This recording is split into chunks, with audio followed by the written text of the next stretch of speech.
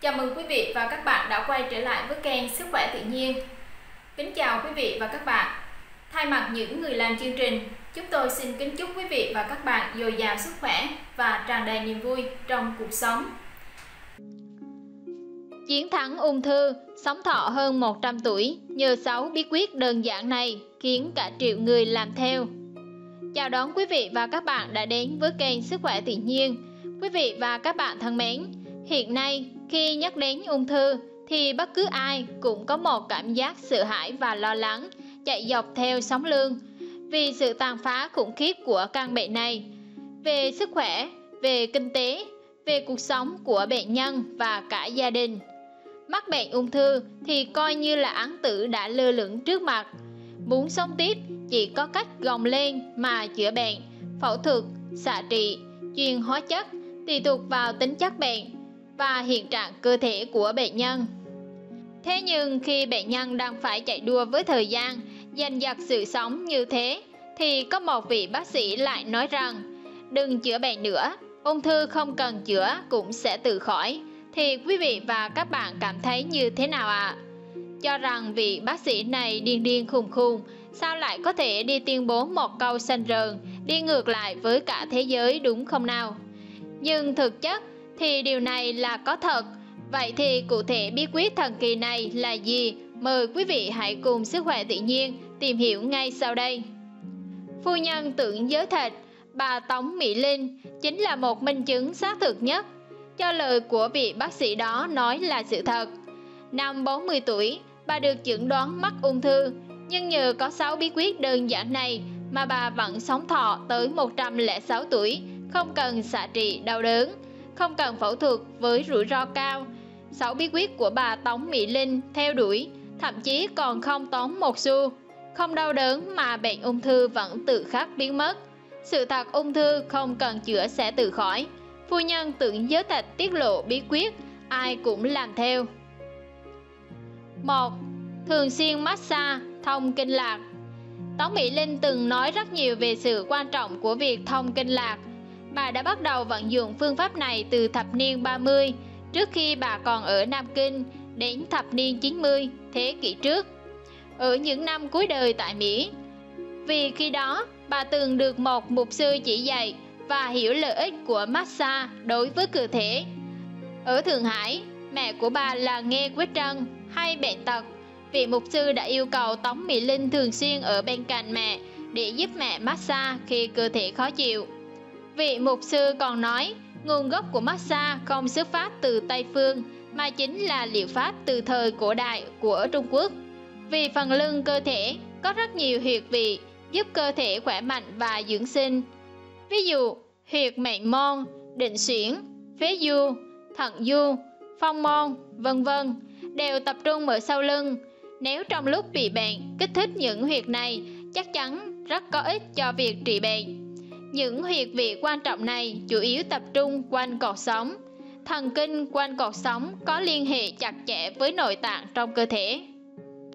Vì thế, massage những huyệt vị này không chỉ giúp xoa dịu bệnh tật mà còn giúp lưu thông máu huyết, kích thích đầu dây thần kinh nên có lợi cho việc thay thế tế bào mới. Do những huyệt vị này có liên kết với tạng phủ và não bộ nên việc kích thích chúng cũng có tác dụng tốt cho hoạt động của tạng phủ và giúp đầu óc minh mẫn hơn. 2. Rượu nho Tống Mỹ Linh khi dùng thứ gì đều có nghiên cứu cẩn thận. Bà biết rằng giá trị dưỡng sinh của rượu nho nằm ở chất resveratrol là chất giúp phòng chống lão hóa rất tốt. Rượu nho còn có chất chống oxy hóa, có tác dụng bảo vệ tim mạch, giúp phòng chống bệnh động mạch vành và suy tim. Rất tốt cho người khi bước vào tuổi trung lão niên Rượu nho cũng có tác dụng kích thích hỗ trợ tiêu hóa. Vì vậy, trong thời gian Tống Mỹ Linh sống ở Nam Kinh và Trùng Khánh, khi tham gia tiệc tùng, bà hay uống rượu nho. 3. Uống nước chanh Năm 40 tuổi, Tống Mỹ Linh mắc bệnh ung thư vú. Khi đó bà đã lựa chọn phương pháp phẫu thuật để cắt bỏ.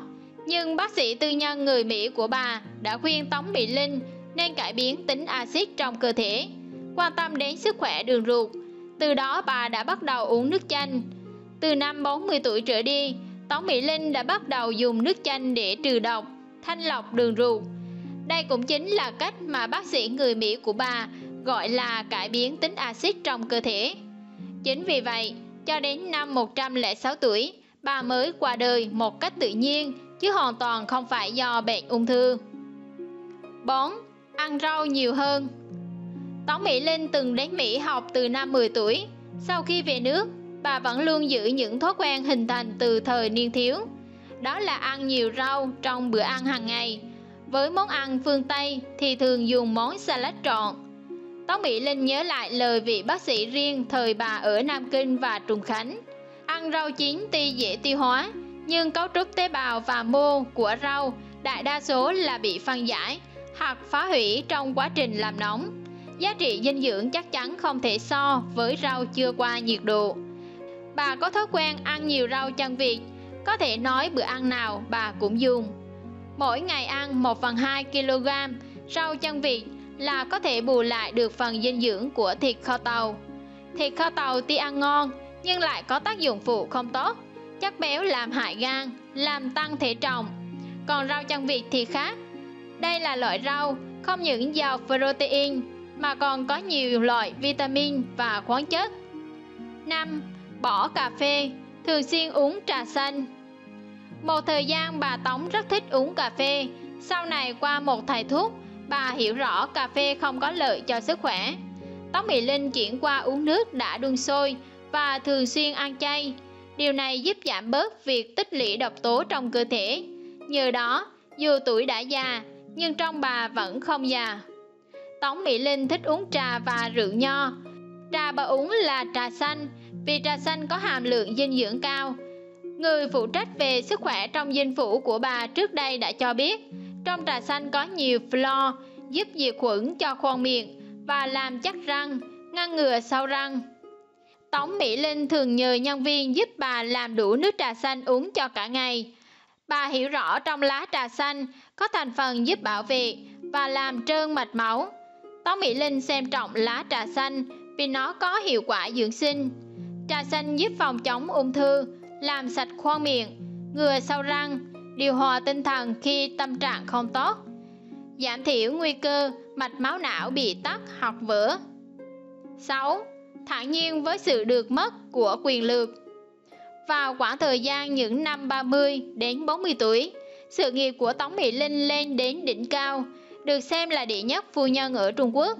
Nhưng về cuối đời, bà không con cháu, chỉ nhờ vào sự quan tâm của bạn bè. Trước đây chỉ cần vẫy tay là người đến tấp nập, nhưng khi về già thì ngựa xe thừa thớt, sống cảnh vắng vẻ. Nhưng sở dĩ bà vẫn được trường thọ là bởi luôn tạo cho mình một tâm thái bình ổn, khoan hòa.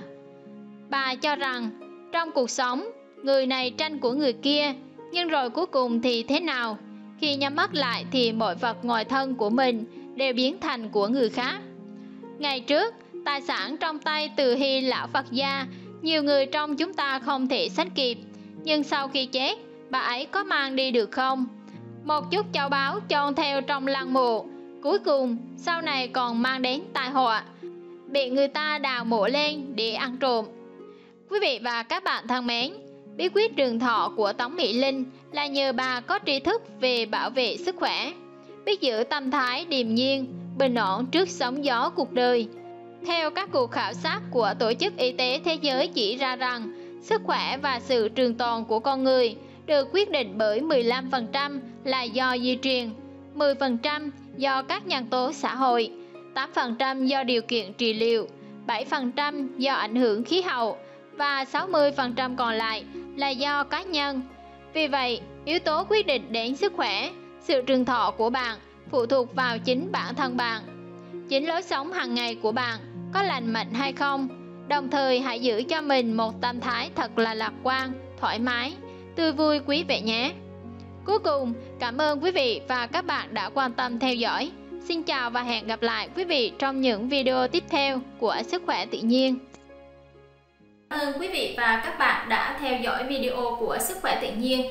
Quý vị và các bạn cũng đừng quên nhấn vào nút đăng ký để ủng hộ kênh và nhấn vào chuông thông báo để nhận được những video mới nhất và hay nhất của Sức khỏe tự nhiên. Cuối cùng, xin kính chào và hẹn gặp lại quý vị trong những video lần sau.